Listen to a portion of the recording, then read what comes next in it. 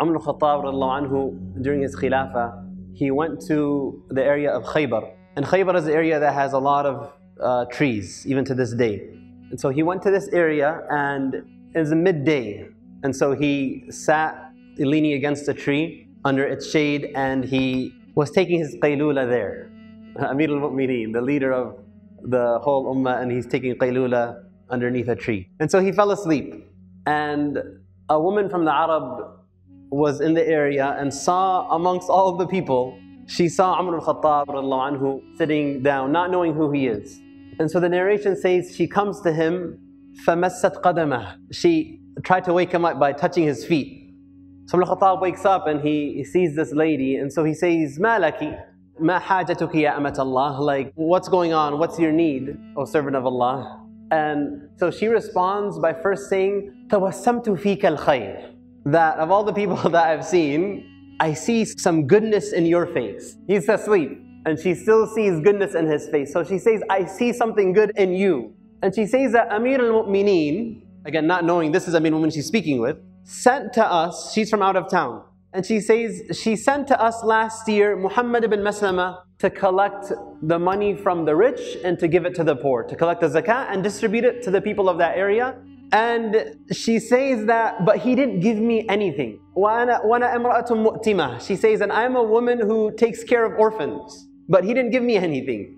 And so she says, the news has reached us that Amir al-Mu'mineen is again sending the same man, Muhammad ibn Maslama, to our area again to collect the zakat and give it again. And so I'm afraid I'm not going to get the zakat a second time in a row, you know? So she says, this is where, where she said the beginning, tawassamtu fika al-khair, I see some goodness in you. She's saying, so can you come with me to, to, to Muhammad ibn Maslama? Come with me to him and let's talk to him. So that way, inshallah, when he comes in the coming year, he'll make sure he, he doesn't leave me out, right? So Umar al-Khattab, his servant boy was next to him. His name was Yarqa. And so he tells Yarqa, Yarqa, go to Muhammad ibn Maslama and call him to us. And so the woman, uh, she kind of kind of got startled by that. And she says, Inni lam urid hada. Like, this is not what I intended. I wanted you to come with me. We go to him. Like, if I'm asking for a favor, like, it looks bad if I'm telling him to come to me, right? So she says, Let, us go together. And Umar Khattab says, it's okay, it's okay. If he doesn't come to us, we'll go to him. So Yarqa goes to Muhammad bin Maslama and he tells him, Amir al-Mu'mineen yad'uk. So the narration says, فَاسْتَنْكَرَ هَذَا he, he didn't like that. Like he knew he, this, at this time, the midday, if Umar Khattab is calling you, it's because of an issue.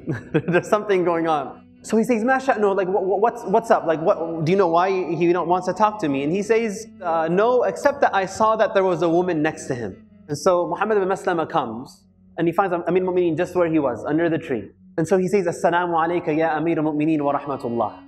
Assalamu alayka, ya Amir al-Mu'mineen wa rahmatullah. He, he greets him with the greeting of salam, but he says Amir al-Mu'mineen, and who's there listening? The woman. so when she heard Amir al-Mu'mineen, the narration says, فَاسْتَحْيَتْ وَجَمَعَتْ جَمَعَتْ عَلَيْهَا ثِيَابَهَا It's like, you know, let's say you, you go to talk to somebody, your shirt's kind of like untugged and you're unbuttoned and whatnot. So when she realized she's in front of Amir al-Mu'mineen himself, she kind of like fixed everything up and took a step back. And so then Amir al-Mu'mineen begins addressing Muhammad bin Maslama. And he says, أَتَدْرِي كَيْفَ كُنَّا وَأَنْتُمْ قَبْلَ الْإِسْلَامِ Do you know how we and you were before Islam? And Muhammad bin Maslama, he knows he's in trouble. He says, Ya Amir al-Mu'mineen, la ta'jal alay. Oh Amir al-Mu'mineen, don't, don't rush to judgment. And then he says, كُنَّا أَكَلَةَ رَأْسٍ وَالْأَعْرَبُ جَمِيعًا عَدَاؤُنَا We were a very small number and we were poor and all of the Arabs around us were enemies to us. And he says, Ya Amir al-Mu'mineen, la ta'jal alay. Oh Amir al-Mu'mineen, don't, don't rush to judgment. Just give me a chance. And he says, And I sent you last year to collect the money from the rich and to give to the poor, and you didn't give this woman anything? And then he says, Amir Mu'mineen, if that's the case, I, let me tell you something. It was not intentional. Either I, I, I missed her, I, I, just, I just messed up, or maybe she didn't even come to me in the time when I was there.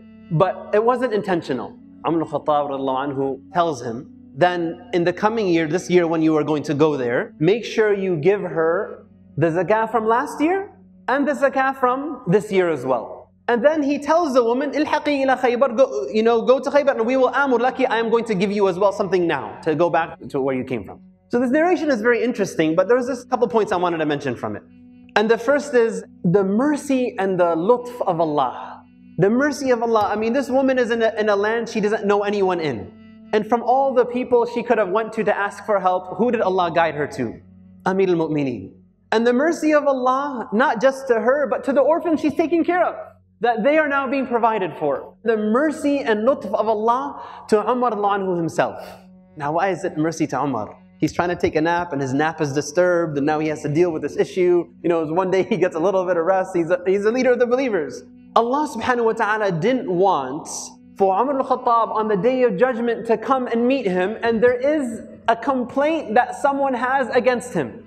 So Allah brought this woman to Umar while he is asleep so that he could take care of her affair and not have this responsibility on his shoulders on the day of judgment. Subhanallah. And it brings a question. When you and I are presented with issues of somebody in need, somebody who requires something, somebody who asks some assistance, do we look at, look at it as an annoyance or as an opportunity? The spirit of a believer, when these opportunities come, how do we look at them?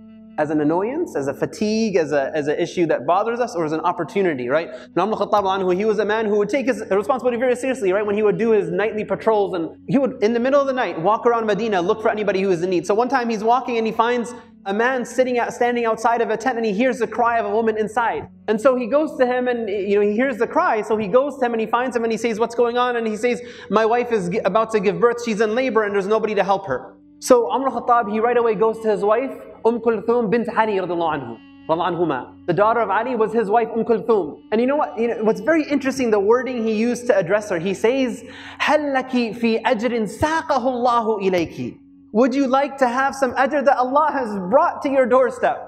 Allah has brought an opportunity for you to come. And she says, What's going on? And he explains to her, and he says, Yes, until she goes and she deliver, helps deliver the baby and Umar Khattab took some food also when he left to cook for them. And so he's cooking while his wife is helping deliver the baby of this man's, the man's wife.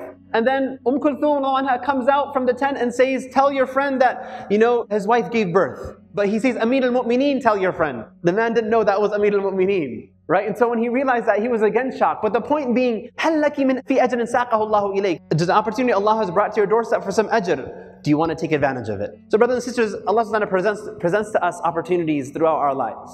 Small things, big things, that we can either look at our perspective really dictates how we respond. Do we look to it as an opportunity for khair, an opportunity for ajr, an opportunity that perhaps Allah will prevent us from having a responsibility on the day of judgment? As a means that we raise our rank and our sins be forgiven? Wallahu fi al-abd ma kan al-abdu fi akhih. That Allah will be in your, uh, your assistance so long as you're assistance of others? Or do we look of it as an annoyance or a fatigue? We ask Allah to give us tawfiq and make us amongst those who are anfa'un nas, lin nas, that we are most beneficial to people and those around us. Allahumma ameen.